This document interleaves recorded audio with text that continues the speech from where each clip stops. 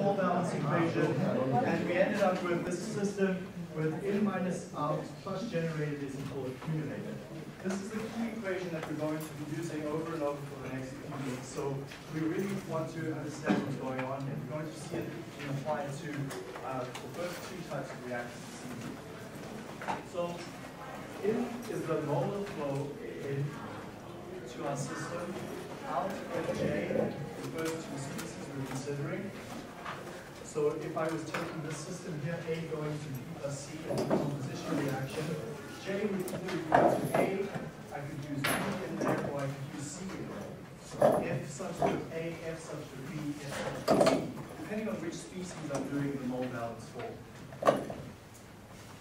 The term G of J was a term we spent a bit more time on last night. That's the term that represents how fast we're generating that species by chemical reaction.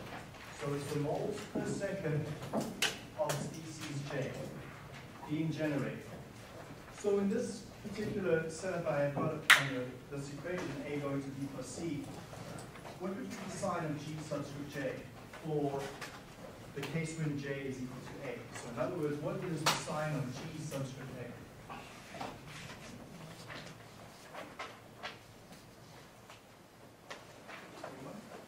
Okay. G subscript B.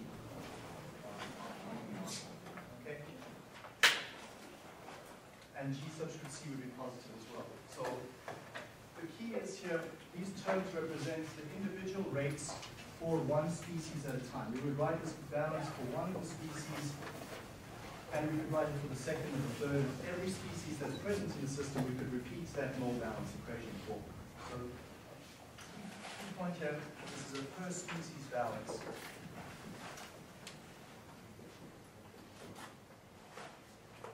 It would be redundant in this particular situation to write that mole balance down for B and C separately.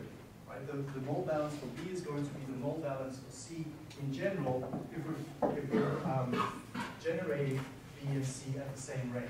So it's going to be, for its typical system, there's no B coming in. So the flow rate of B coming in is zero. The flow rate of B and C leaving are, are going to be the same inside the same system. The rate at which we're generating B and C are going to be the same, and then for the rate of accumulation of B and C are going to be the same. So we don't need to write this equation down for every single species, but for the key species that we're considering, uh, we would write this down. So part of the skill in solving reactor design problems is picking the particular species or species, uh, plural, that you need to use that equation for. So we'll see some of that coming through in the problems this evening. So we ended up there. The other key point is that G of J being the molar flow of generation, the easiest way to, to simplify that, we look at the integral for it is Rj multiplied by V. So Rj multiplied by V, that simplification comes from the only, in the more general equation where we're integrating R subscript J over the volume. So Rj, the rate at which we're generating species J in the most general sense is a function of the location inside the reactor. In other words, it's a function of the volume. For certain specific cases, it's not a function of volume. We'll see that in tonight's examples. But in general, the most general cases, Rj is actually a function of the location inside the reactor, so we cannot remove it outside the integral. But if, if it's not a volume-dependent function, we can remove it outside the integral and we get the simplification above here. So this here is a simplification, and this is the general equation that always holds.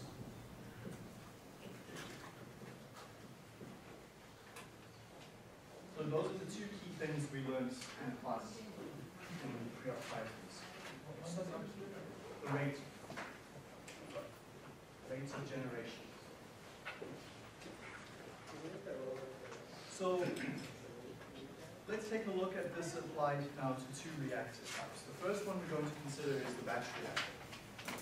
So a batch reactor is a reactor where the key characteristic is that there's no inflow and no outflow. That's the primary characteristic of the batch reactor. So already we have these two terms, Fj0 and Fj equal to zero. No inflow and no outflow. So tremendous simplification already. That's why we're starting with this, with this reactor. So our equation then for a batch reactor is going to be G for the J species is equal to the rate of accumulation of J over time. So we, we put material into our reactor, we call that charging the reactor, put material into the reactor, close it up, then what? Let's take a look at what happens. So here's a batch reactor system. We've got an illustration of it on the left and a photo of it of an actual batch reactor on the right. On the left-hand side here is a, is a theoretical reactor. It's taken from one of the master students' thesis a few years ago. And Cecilia was considering the case of uh, specialty chemical production.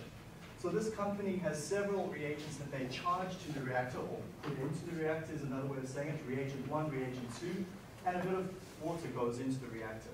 That's closed up, and then the reaction is initiated. There's several instruments on this reactor, temperature, pH, pressure that can be measured over time. An interesting measurement is the weight.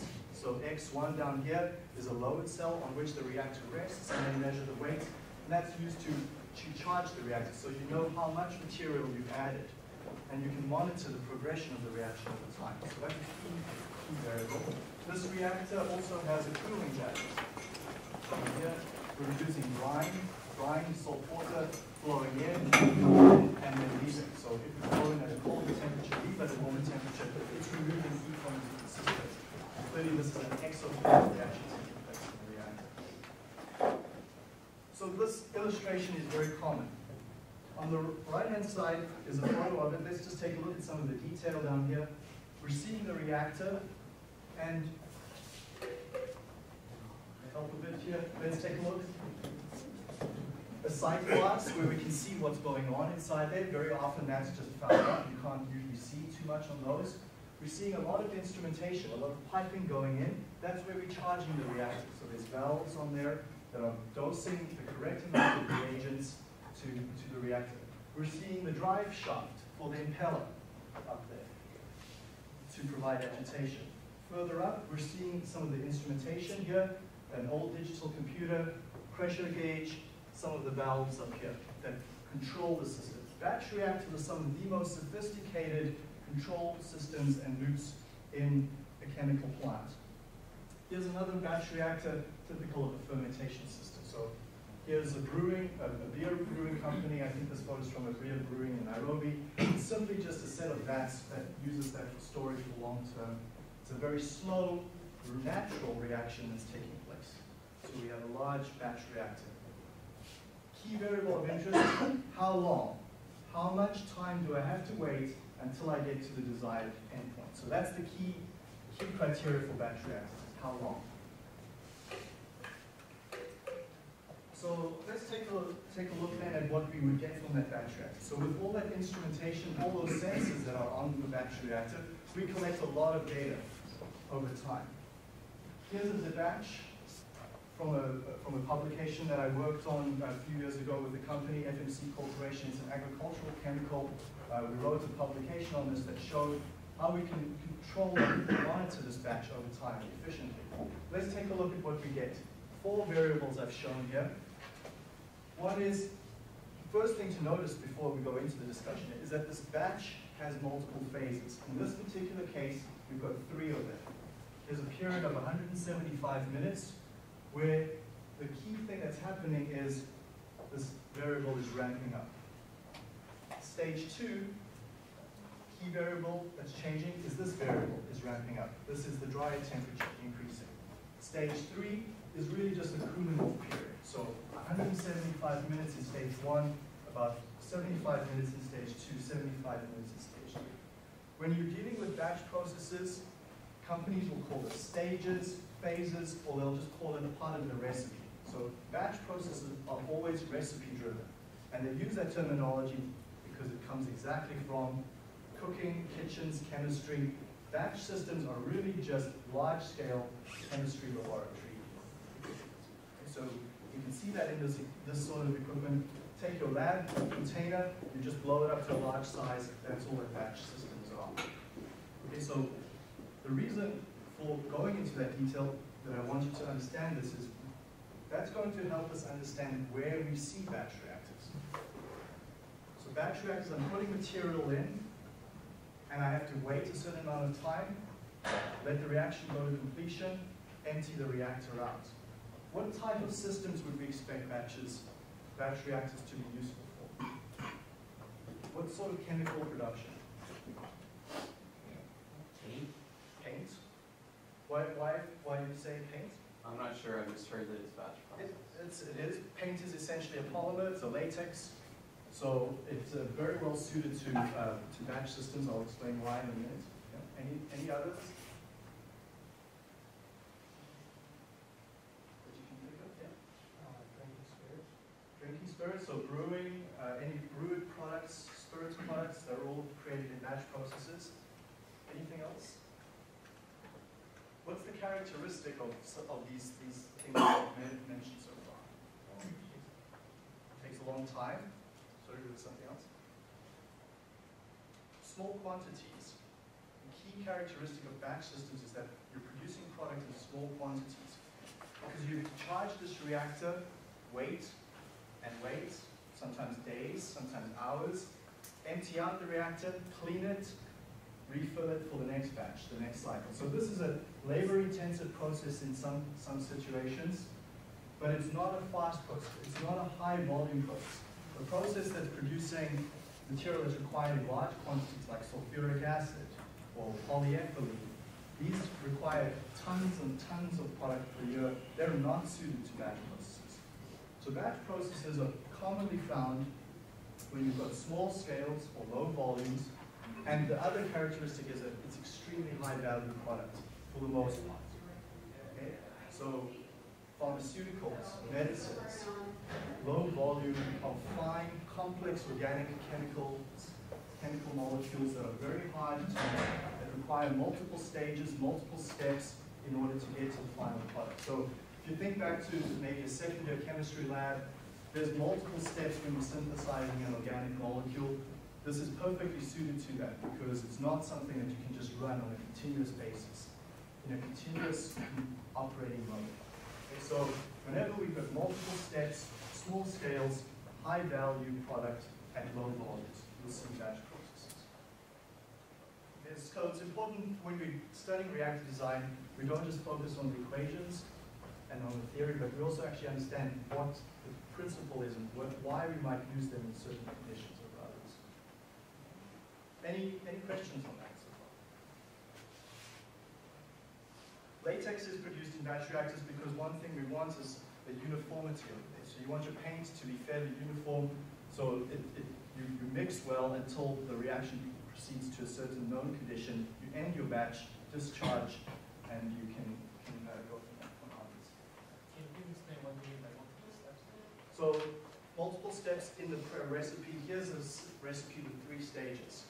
So this company to produce this product, they've determined that the best way to make it is to go through stage one where they're ramping up this variable, keeping this constant. So this variable here is flat line corresponds to the agitator speed. They're running that agitator at very low, eight revolutions per minute.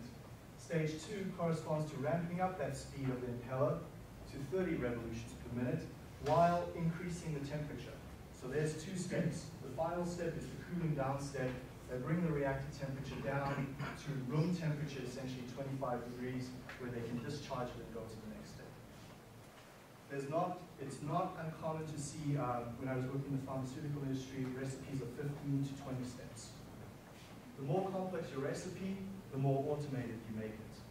So when it's a straightforward recipe like this, you can allow operators to, to run it for you. There's, it's a very short process, 300 minutes, easy to make these changes, but if you've got very uh, complex things that need to change, especially simultaneously, for multiple steps, you don't want to risk making a mistake, you automate it. So, so that's what we mean by multi-steps. Okay, so let's now that we've got that understanding, let's take a look at applying the general balance to the batch reactor. So we assume that when we've got the, our material in the reactor, we're assuming it's well mixed. That's an important assumption. So we've got our, our impeller in there, our material, we've charged it into the reactor. So here's my valve. I open it up, put, a, put material in, I close the valve, and I turn that impeller on. That material is well mixed in the reactor, so the reaction rate is not a function of location inside the reactor. The reaction rate at multiple points inside the reactor is the same value everywhere. So I can remove Rj out of the integral and simply call it Rj, integrate volume over dV and get capital V. So cancel the flow in, cancel the flow out, those are both zero. G of j, substitute in the simplification over there is equal to dnj minus. In English, that says the rate at which we're accumulating species j inside the reactor is the rate of formation. That makes absolute sense. The rate at which it's accumulating is the rate at which we're forming it. The material has nowhere to go. It's inside the reactor. So the rate of accumulation inside the reactor is exactly the same rate as we're forming it. Okay, so that equation makes sense mathematically and conceptually. Notice though, one important point here is that we don't assume our volume to remain constant. For most reactions, especially liquid phase reactions, that is true. The volume inside the reactor is not going to change, but certain reactions lead to situations where the, the volume, the product being produced cause an increase or a decrease in the total volume of the system. So these products have greater density or lower density, they occupy less space, and so this volume could either go up over time or go down over time. But for most systems that, like, it, it could go up and down by a few millimeters or, or by a small negligible amount. For the most part, though, um, we can safely assume for liquid phase systems that the volume is constant. But this equation does not assume it. Right? So if, if the system actually did change over time, we would need to take that into. So let me make that a bit more, more explicit.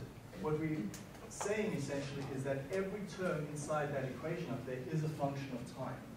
So to emphasize that, as I could write the rate of formation of species J, the number of, uh, sorry, the rate of accumulation, the number of moles of J is a function of time, the rate of formation is a function of time, and the volume is a function of time. Every variable in there can change over time, and we need to be aware of that. Especially given the fact that we're integrating relative to time dt, we must be clear on which variables actually are a function of time and which variables are not a function of time. Okay, so let's, one key thing I want to point out about this reactor design course is it's very easy to go and try and learn these individual equations. But it's a pointless exercise. By the end of this course, there's going to be about 150 to 200 equations. There's about three or four or five showing up every night, times 36 classes. Easily, there's going to be 150 equations. To try and memorize all of them is fruitless, which is why it's an open book exam, open book midterms. What I'd rather you do is we understand the concept of the most general equation. Then to get to this equation up here, you can just work through the process every time, make the necessary simplifications that we require. So when I'm going through the simplifications, understand why I'm doing it, not what we end up with. Okay? Because it's going much easier for you to derive it rather than for you to memorize every single one. So here we've got the general equation for batch systems as a function. What I'd like you to take a look at now is this problem. Straightforward batch problem. But let's take a, I want you to solve it for a few minutes and then we'll work through it together. We've got a decomposition of A going to 2B. And the rate of reaction is given by this formula over here. Minus RA is equal to K times C. Is that the rate of formation of A, or is that the rate of depletion of A? Learned that last night, that's the rate of completion of A minus RA, and the constant K is 0.23 minutes over one. Does that, do those units make sense? Inverse time? Yep, they need to be inverse time so that the left and the right hand side that makes sense. So rate is always moles per time per unit volume. Concentration is moles per unit volume, so therefore K in this system must have units of one over time. In this particular example, for first order kinetics, K has units of time to the minus one. Second order system, K does not have those units. So K's units changes every single problem we deal with. So, so be, aware, be aware of that. Always check your consistency for your units. Constant volume batch reactor. We have down here that that volume of the batch reactor is 10 liters. Inlet concentration coming into the reactor, when we charge the reactor, we fill it up with material at a concentration of 2 moles of A per liter. The most important thing we want to know about batch reaction systems, how long? How long do we need to run this thing? In this case, we're wanting to know how long do we need to operate the batch so that we reach concentration at the outlet at the end of time where it's 10% of its initial volume, um, 10% of its initial concentration. In other words, we want to see a 90% conversion. Very important question to know this time required because this is going to affect our production schedule. We need to empty the reactor, clean it out, get it set up for the next reaction, the next batch that's going in. So important to know how long do we have to wait before we have to do that. The faster we can run these batches, the more product we can make. You don't want to overestimate this number, nor do you want to underestimate it. If you underestimate it, you're going to produce material of improper quality. So take two, three minutes work with the friend next to you, to the left or the right, and try, I don't expect to get to your answer, but at least set up the general balance, substitute in what you know, and try to get to a point where you can attempt to solve it. So take a minute or two, work through what you have.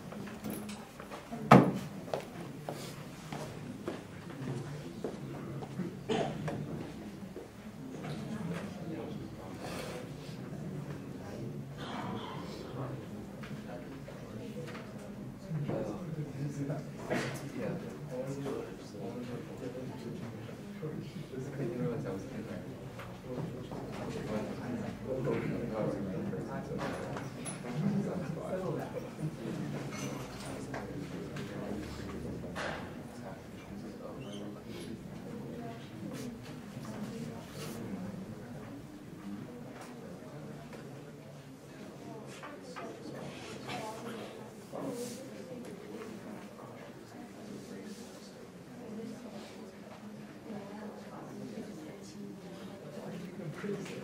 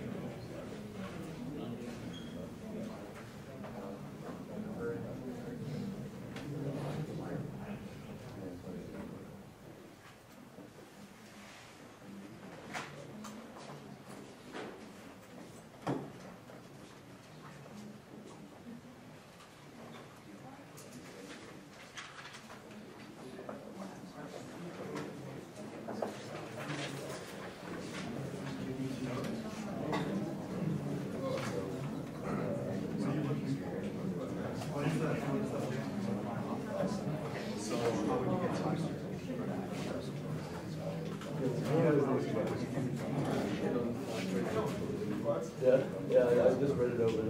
Yeah, but it's really, it's really quick. Like, Just like stuff like that.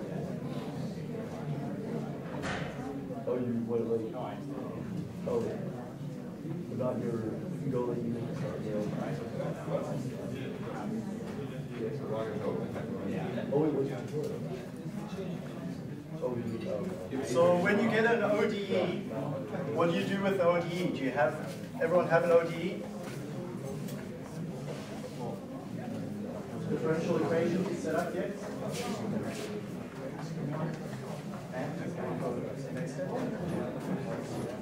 What's the definition of CA?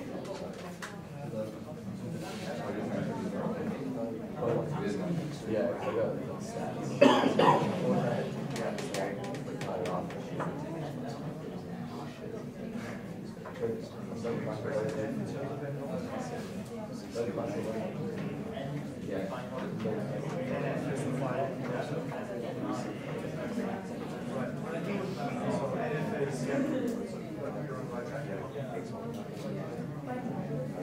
Okay, so let's uh, let's just uh, quickly take a take a step here.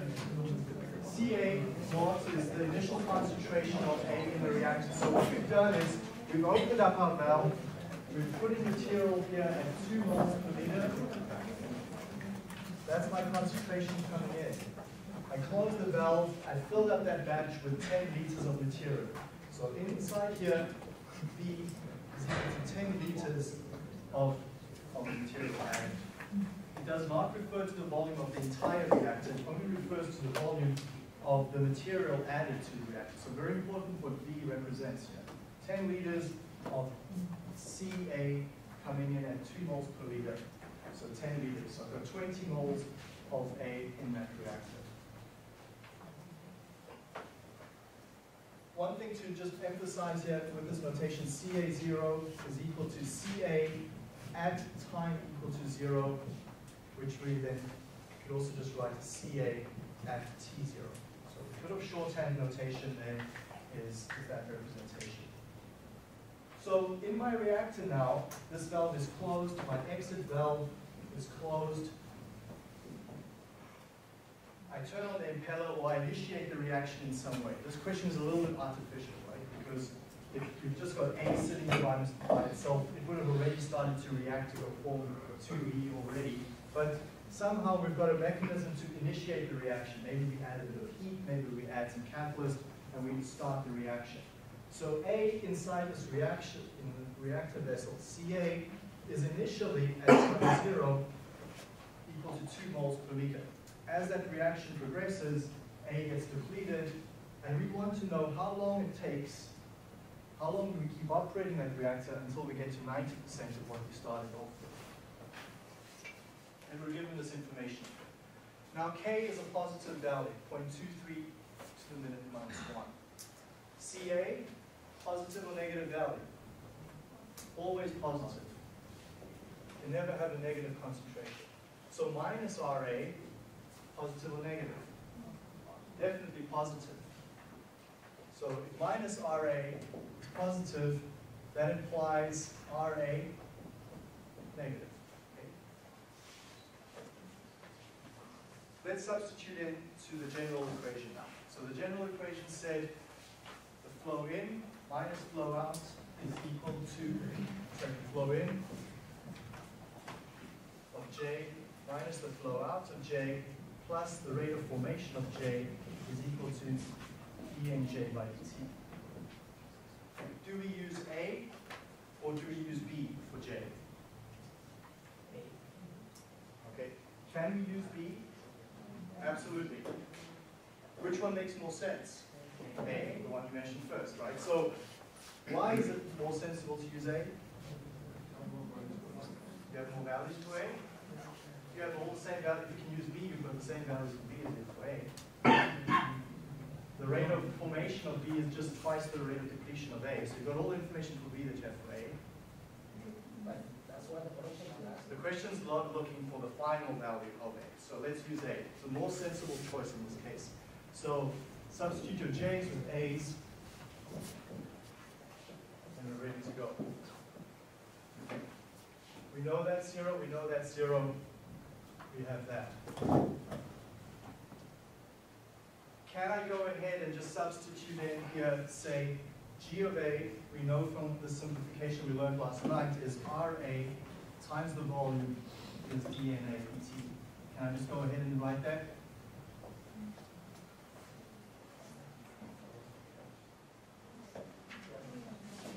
Yes? Who says? No?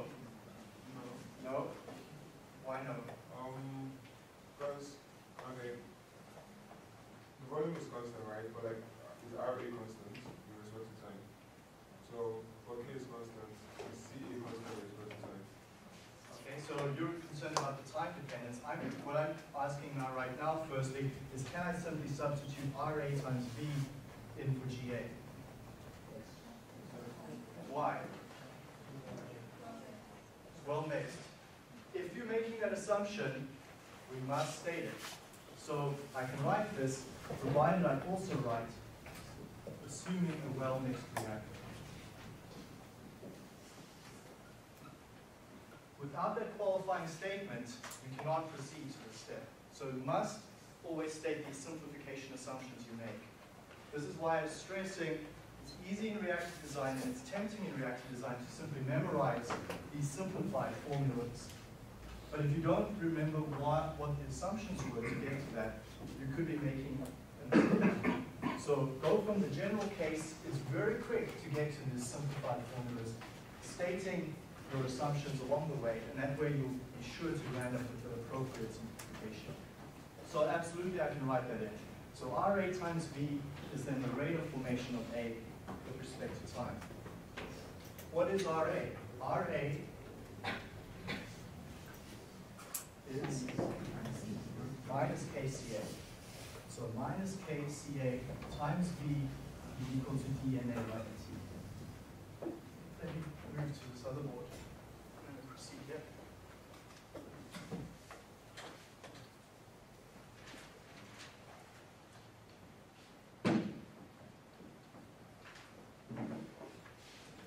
So minus K CA times the volume equal by T. Can I solve that? Can I get to my answer that I'm looking for? Uh, you need to change NA to make it in terms of CA and V. Change NA in terms of CA and B. Any other suggestions? Could you integrate this, this is C is a function of time, CA is a function of time, NA is a function of time, so could you integrate both sides? integrate both sides. Great. Then you're going all going to the right, right direction. So which, what variables do I put on which side of the integral? V and K are constant, so we know those two, yeah? Would you put CA onto this side? Okay, so minus K and V, VT is equal to DNA divided by CA? No? how do you know that V is We're assuming, assuming it, But then, is that the volume of the liquid or the volume of the it's the volume, V always refers to the volume of the reacting system, not the reactor. Oh, okay, because when I read the common volume, I thought, Yeah, it's in a constant volume. It's in a batch reactor and it's operating in a constant volume. So yes, if you're not clear, make the, make it, make it clear in your answer. Let's, let's add that here. Assume the reaction volume V is constant.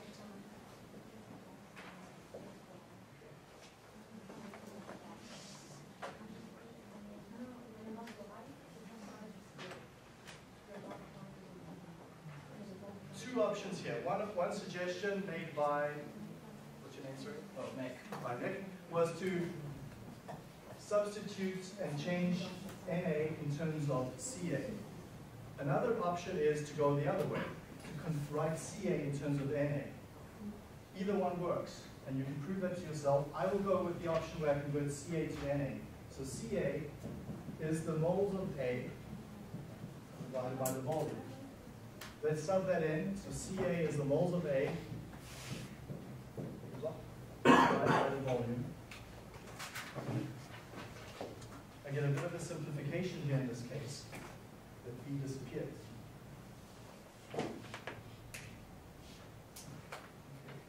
So now I can get minus K dt is equal to dNA over NA. Now I can integrate. Variables related to NA that change as a function of, uh, here it's NA are on the right, variables that are constant and the dt are on the left. I can integrate them between the limits. What are the limits for the dt side? Anyone? Oh, so zero to eight? Zero to, I'm going to call it TF, T final. On the right-hand side, NA zero, let's just use LF notation, the initial number of moles inside the reactor to the final moles. NA F. Uh, Um, since the question is asking for final concentration and the volume is also constant, isn't DNA over NA the same thing as DCA over CA? Absolutely. You could work with either one. Yeah. Yeah. You could work with either one. You could work with NA and then just convert to CA at the end, or you could simply recognize that that integral right now is equal to dCA by constant volume assumption. Absolutely. So if I integrate that, I get minus k times TF is equal to natural log of NAF over NA, zero. And we want to know the time TF, that's my search variable, this is what I'm looking for is TF, so that the final concentration is, is ninety percent converted or ten percent of its initial value. In other words, that says the final number of moles is equal to 0.1 of the initial number of moles. Okay, so that's equal to the log then of 0.1. So what's the answer? TF? 600 seconds or 10 minutes. So TF is equal to 10 minutes.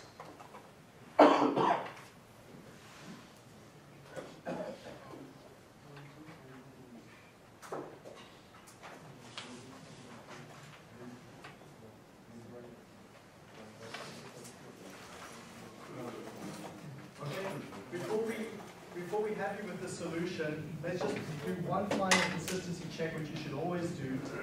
Let's just check our units. Our units for K are inverse minutes. So the units of K are one over minutes. The units of TF are in minutes. So that's dimensionless on the left. The log of two variables that, that are ratioed, dimensionless. So we've got that consistency of the units. Always do that as a final quality check. So 10 minutes for us to reach 10% of its initial value or 90% conversion value. Okay, very, very straightforward uh, question. That's a straightforward application of the mole balance. Now let's take a look in the time remaining here at the continuous stirred tank reactor. So CSTRs, you've seen this uh, in, in the labs, you've seen this in, in, in chemistry uh, setup. It's a tank or a system or a beaker where you're providing agitation, enough agitation so that you can make assumption here as well that it's well mixed, that the properties throughout the reactor are constant everywhere. Okay? That implication is that everything inside the reactor is at the same value. Temperatures, viscosities, all those intensive properties are at the same value. But a CSTR also has, the difference with the batch reactor is we've got material coming in and we've got material leaving. So CSTR, let's illustrate it. Uh, I think it's a better illustration next slide, so I don't have to draw it. Okay, so here we go. CSTR, like a batch reactor, except we're continuously adding material in and we're continuously having material leaving with good mixing all the time.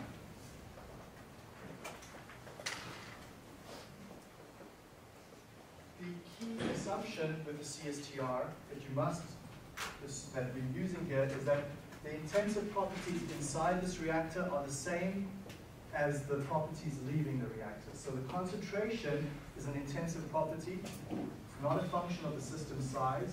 Cj inside the tank is the same as the Cj leaving. The temperature inside the tank is the same as the temperature leaving. The viscosity in the tank, the density in the tank is the same as the density and viscosity leaving. So the only difference with the batch reactor and and CSTR is we're continuously adding material in, we're continuously pulling material out. Depending on how well mixed the system is, if I have poor mixing, you could understand and appreciate that you could get what's called a bypassing. Material can come in and pretty quickly just get maybe whisked around once or twice and leave right away. Other molecules can stay in that tank and get spun around there for, for hours and hours We have essentially a distribution of times. Some molecules spend a long time in the reactor, other molecules spend a short time in the reactor. The key assumption is, though, all the material in the reactor is at the same concentration. So it's not a totally correct assumption, but for well set up systems, it can be a good and sometimes even an excellent approximation, depending on, on the level of agitation, depending on the baffles, and depending on the geometry of the internals that you've got set up there. That can be an excellent assumption to make. So CSTRs are used for some very important operations. They want, we use them when we want to be sure the system is operating at the same concentration all the time, same temperature all the time. Okay? A batch reactor has profiles that change with time. You saw that over there. I'll just go back to it and emphasize what, what I mean. Batch reactors have these profiles over time. The temperature changes with time. We call these trajectories. And so this is the terminology that I'm going to use later on in the course. We have trajectories over time in batch reactors. In CSTRs, we have no such thing. That system is well mixed, and at steady state, the material inside the tank is at the same concentration, same temperature. Our trajectories are flat lines. We have essentially no trajectory. So the advantage of using the CSTR is we want to be in a system with constant temperature, constant concentration. We need to use CSTRs when we require good agitation to contact those materials. Remember, I said in the third prior class that the whole purpose of our modeling here, one key variable we have is the contacting pattern. We want good contacting patterns here. Um, so for example, a good example of CSTRs are when you need to suspend a catalyst inside the liquid phase to get your reaction going. Here's another example that's a, a good one to, to remember. If you, um, how many of you are familiar with uh, gold and mining or any mineral processing? A few people. So if we take gold as a, as a, as a useful example, if I take a piece of rock from, from, from a gold-bearing ore, and I crush that rock up really finely, so I use jaw crushers or, or a crusher that essentially takes that rock and crushes this material to about 50 microns in size. So a very small diameter. Gold is typically exposed on the surface of the, of the, of the material. So there'll be a little bit of gold there, maybe a little bit of gold there. There'll be some gold actually internal to that rock that is not exposed. If I take that rock, this crushed powder essentially, and I put it in a solution of sodium cyanide, it will leach the gold. It dissolves the gold away. Okay, so if you've got gold jewelry, you don't go stick it into cyanide. It will dissolve away. It literally goes into the liquid phase and disappears from you. So 4AU, four molecules of gold attached to eight sodium cyanide ions plus oxygen that's added to the reactor plus water. So in South Africa, where I worked with these systems for some years, we'd have a CSTR, you inject oxygen into the reactor and you mix sodium cyanide with this rock and you keep this all suspended. You have to use a CSTR for this example. Because the contacting pattern requires gold, sodium cyanide in the liquid phase, oxygen in the water obviously. So you need to suspend this material and get that contacting happening. That will then create the so-called aurocyanide complex plus four hydroxide atoms. That's desirable. You want an- a basic environment because if that pH drops, sodium cyanide turns into cyanide that you breathe in and you die. So you definitely want a high pH. Classic example of the CSTR where you have to have solid phase, liquid phase, and gas phase suspended in the same reactor to get that reaction going. Okay, so CSTRs, when you need good contact between your material and you want constant operation. You definitely want constant operation when you're leaching this. You don't want your pH to change on you over time. pH, intensive property, you don't want that changing over time. You want to control that very well and keep it constant at the desired value for safety reasons. So here's just some notation, and then next class we'll look up at, at some examples. But the notation we'll use is flow rate coming in. Now, let's pay attention. That's the molar flow rate, not mass flow rate. F here is moles of the species per unit time. C is the concentration in moles per liter, per unit volume. And here's some really unfortunate notation. Very bad notation, but we have to deal, live with it because this is what's used in the textbook. Lowercase v, not to be confused with uppercase v, which unfortunately looks very similar if you're writing this really quickly by hand especially. Lowercase v is the volumetric flow, meters cubed per unit time. Uppercase v, total liquid phase volume. Subscript zeros represent inlet conditions, no subscript zeros represent outlet conditions.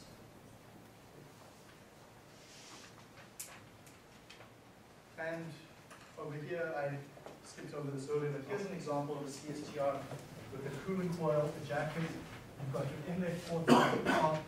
Here's your outlet port for one of the, on one of the sides. Uh, I think if I, if I can interpret this figure correctly, that's actually the outlet port for the cooling. Here's your outlet port at the bottom to drain the reactor. end. You've got your impeller and your motor that come in through that large port, so your agitation. So next class, we'll look at applying the mole balance to this system